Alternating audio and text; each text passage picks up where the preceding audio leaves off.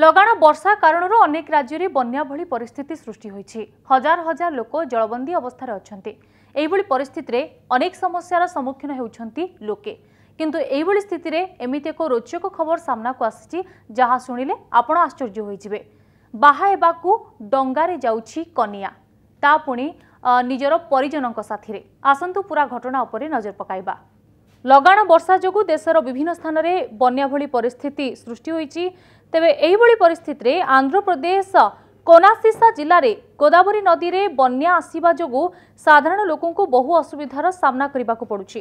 ତେବେ ଏହି ବନ୍ୟା ପରିସ୍ଥିତି ମଧ୍ୟରେ ଏକ ରୋଚକ ଘଟଣା ହେଉଛି ଯେ ବାହା ହେବା ପାଇଁ ଜଣେ କନିଆ ଡଙ୍ଗାରେ ଯାଇଛନ୍ତି। ବିବାହ ଲାଗି ପ୍ରଶାନ୍ତି ନାମକ ଏହି ଯୁବତୀ ଜଣକ ଡଙ୍ଗାରେ ବସି ବର ଅଶୋକଙ୍କ ଘରେ ପହଞ୍ଚିଥିଲେ। କେବଳ ଏକା ପ୍ରଶାନ୍ତି ନୁହନ୍ତି ତାଙ୍କର ପୁରା ପରିବାର ମଧ୍ୟ ଡଙ୍ଗାରେ ବସି ଶାଶୁଘର ଅଭିମୁଖେ ଯାତ୍ରା କରିଥିଲେ।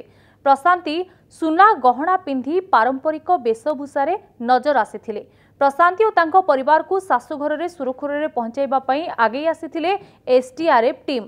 ଅଗଷ୍ଟରେ ଭୀଷଣ ବର୍ଷାକୁ ଦୃଷ୍ଟିରେ ରଖି ପ୍ରଶାନ୍ତି ଓ ଅଶୋକ ଏହି ଜୁଲାଇ ମାସରେ ବାହା ହେବାକୁ ନିଷ୍ପତ୍ତି ନେଇଥିଲେ। ମାତ୍ର ଏବେ ଏଭଳି ଏକ ପରିସ୍ଥିତି ଉପୁଜିବ ବୋଲି ସେମାନେ କେବେ ଆଶା ମଧ୍ୟ କରିନଥିଲେ। ଅନ୍ୟପଟେ ଏହାର ଏକ ଭିଡିଓ ସାମାଜିକ ଗଣମାଧ୍ୟମରେ ସେୟାର ହେବା ପରେ ଏହି ଦୁହିଁଙ୍କ ବାହାଘର ଘଟଣା ସାମ୍ନାକୁ ଆସିଛି।